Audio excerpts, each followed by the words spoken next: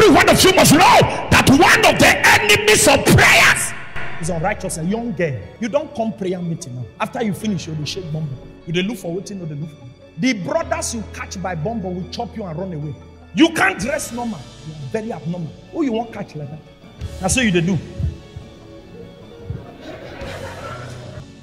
You have been here since the first day of prayer summit. You have been crying to God, Operation Chapters. My story must change. Hey, you can't put an old wine in a new bottle. There must be a change of life. You can't finish from church and continue in club. So I don't know whether I hear the man because see me. Not be everybody they also. Kai. Seek ye first the kingdom of God and his righteousness, and all these things. Can I encourage you? No be who dey front dey win. No be everybody who don't first you marry dey appeal. If they will tell you the truth, they will tell you don't rush. Take your time. They won't tell you what they are going through, but they will tell you, please, my sister, don't rush. Take your time. Hey, I'm going to be my king. There he go, where time we go.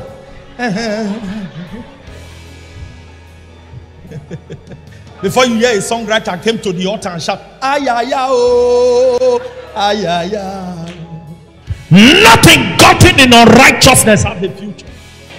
But the greatest disaster, regret of your life will be when you get to the top unrighteously and discover there's nothing there. You can't rewrite the errors of yesterday. Papa says it's better to be slow and sure than to be fast and fall. This thing when you join the pursuit, so you will eventually reach. It will not get to a point that you go be tell you, I don't tire.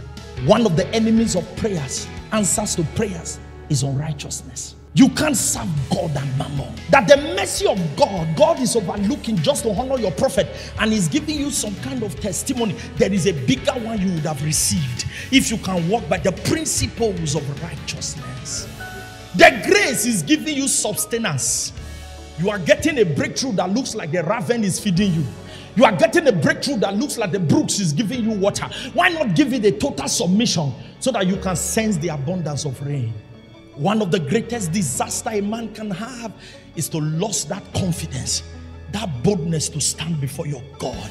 Before I came here, I stood before him and I said to him, Father, behold your people. Do through me what you know how to do. I stood before him. When I leave here, I will go back to him and thank him for the meeting. And I'll tell him, Father, I have spoken as you commanded. Perform the word. I've been faced with the shakings of life. It was the place of with God that gave me solution.